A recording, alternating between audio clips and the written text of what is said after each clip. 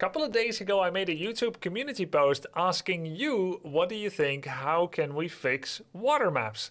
Now it's time to parse and read some of your comments and to engage in a new discussion about which of the three solutions might be best and to give some extra verbal explanation about what I think we can do with water uh, maps and with docks and fishing boats and so on in Age of Empires 4. Let's make a great discussion so that maybe if we're lucky, the devs take a look at it and get some kind of great inspiration from it as well. GeoHF.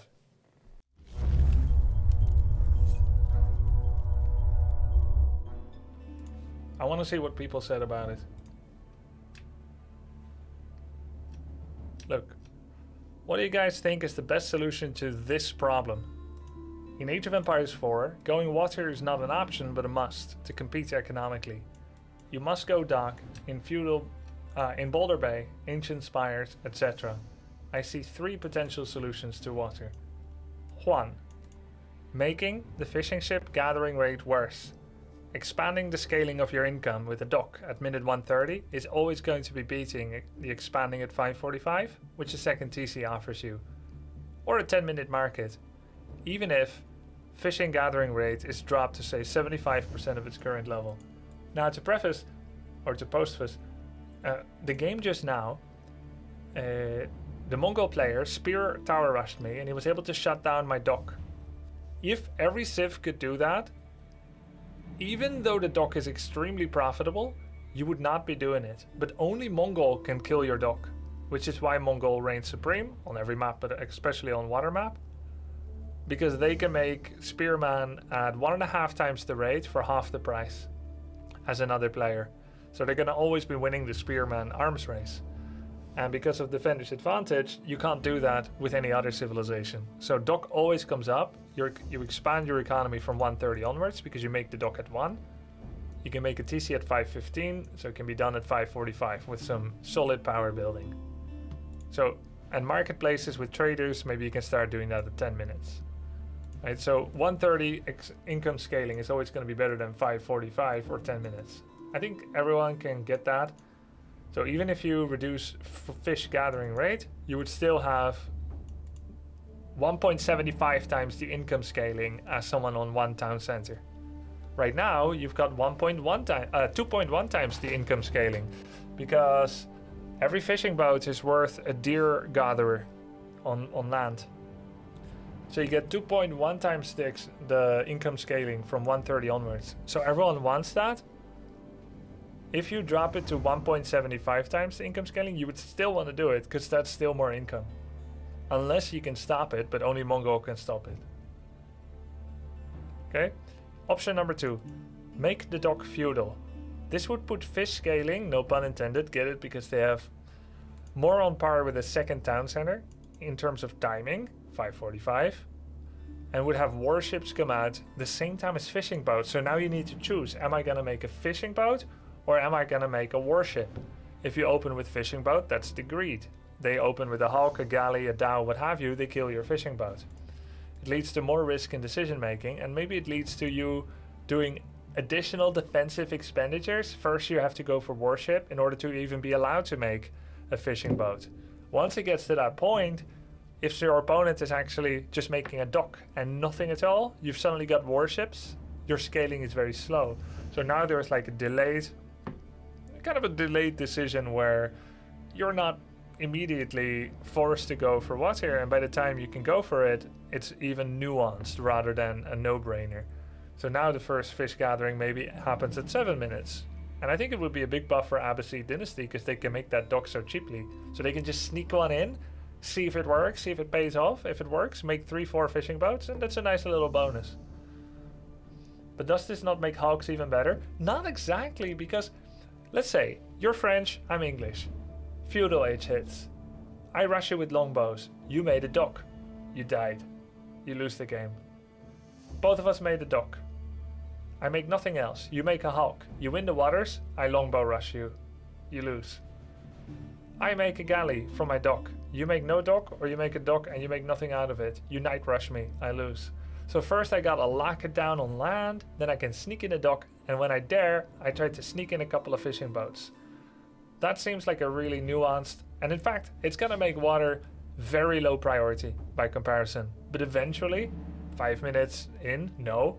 Eight minutes in, maybe. 12 minutes in, possibly. 15 minutes in, likely. 25 minutes, mandatory. Because there's trading, uh, resources on land can get scarce, you can get gridlocked on land, you can get um, transport drops on your opponent with water, you can use Baochuan to control the land uh, with a dock. So you make like 1500 resource investment to get some water presence, and now you can control the shores. But it's not like, all right, gotta do my water build order, get lots of wood, I have to open dock, and so on. So I think this is a really good uh, option. And we can talk more about balance from different civilizations, which one benefits from it more. Or you keep Dock in Dark Ages, but you make it cost more, keeping in mind that resources are at their most scarce in the early game.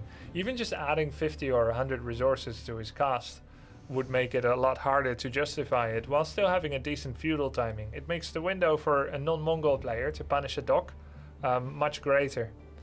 So the TC costs 700 and produces 50 resources villagers and scouts for 60. And Scout is a fighting unit, but soon it'll be worse because Animation Cancel is to get patched out of the game.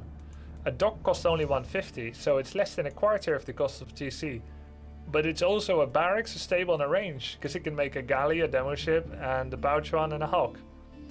It produces the whole armada, of course a 150 resource TC, that's also a Wynguard Palace, it comes out at 1 minute game time, it's going to be overpowered compared to a second town center. Keep Dock in the Dark Ages, but make it cost more, like 450 or 300 instead of 150. So which solution do you guys like the best? One, two, or three? So island maps are dumb now. Option two is the worst thing you've ever proposed.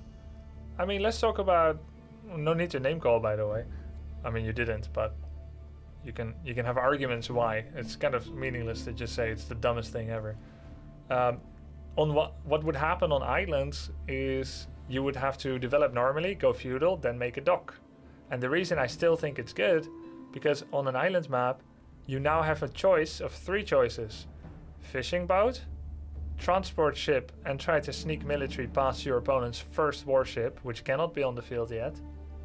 Right? You, not, you can put in a couple of knights, drop their mainland. Now you are actually fighting on land as well. Or you can open with fishing boats. So there's actually three options on Warring Islands and Archipelago. Like, yeah, sure, the first five minutes you can literally not interact with each other nor scout. And that's a downside. But maybe full water maps suck. Uh, but now you've got three options after that. So I'm looking at chat, I'm seeing a lot of option two, some option three.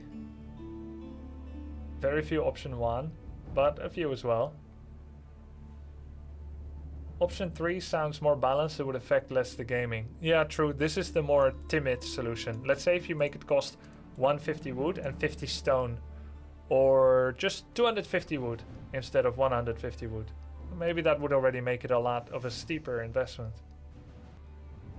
I think 2 is the best. You can now have the same build order on every map.